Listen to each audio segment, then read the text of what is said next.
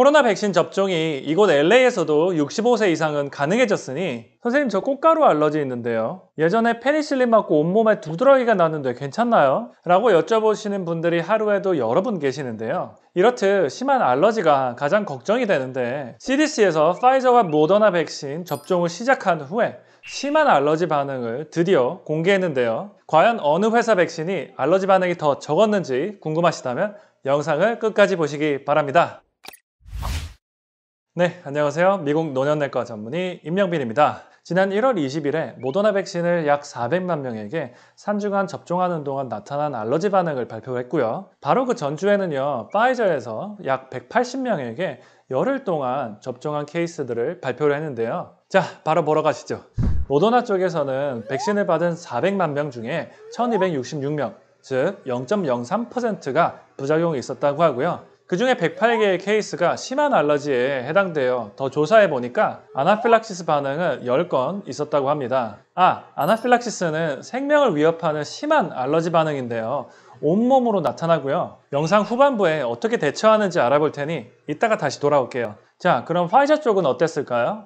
180만 명의 접종자들 중에 4,393명, 즉 0.2%에게 부작용이 나타났다고 했고요. 그 중에 조사가 들어간 심한 알러지는 175명, 그리고 생명을 위협하는 아나필락시스는 21명이나 되었다고 합니다. 확률로 따지면 모더나는 100만 모더나 백신당 2.5명의 아나필락시스가 생겼고 파이저는 100만 명의 접종자들 중에 11.1명으로 나타났으니 이 결과로만 따지면 아직까지는 모더나 백신이 조금 더 안전하다고 볼 수 있겠는데요. 그래도 그렇다고 어느 게 더 우월한지 단정짓기도 어렵습니다. 둘을 직접 비교한 실험도 아니고요. 아나필락시스가 발생한 환자들도 그렇게 많지 않았기 때문에 명확히 판가름 내기는 어렵지만 만약에 Choice가 주어진다면 개인적으로는 모더나를 택할 것 같습니다. 근데 여기서 또 중요한 점은요. 수백만 명의 접종자들 중에 아나필락시스가 생기는 환자가 바로 내가 될 수 있다는 점인데요. 이런 맥락에서 Pfizer와 모더나가 발표한 아나필락시스 케이스들을 조금 더 자세히 알아보죠.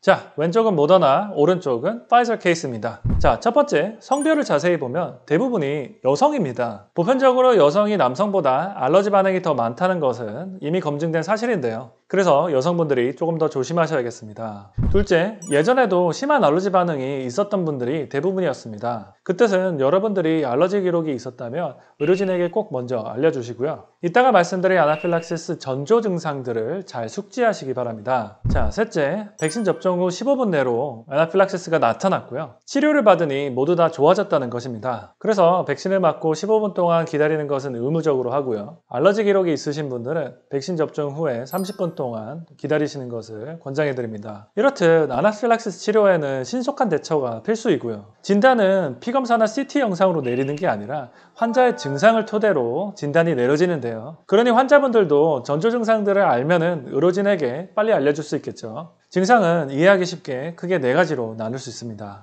첫째, 호흡기. 기도가 부어올라 숨쉬기가 어려워지고 쌕쌕 소리가 날 수 있습니다. 둘째, 피부. 온몸에 매우 간지러운 두드러기가 나타납니다. 만약 백신 맞은 자리가 몇 분 내로 빨갛게 달아올리고 간지러워지면요.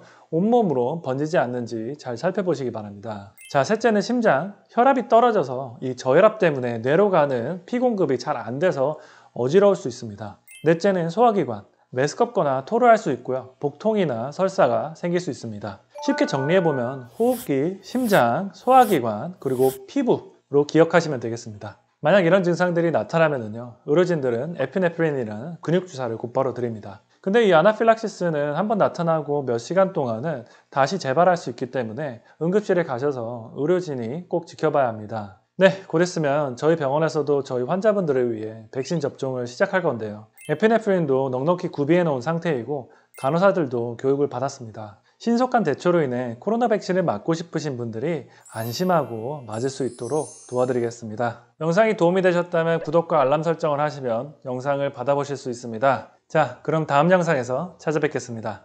감사합니다.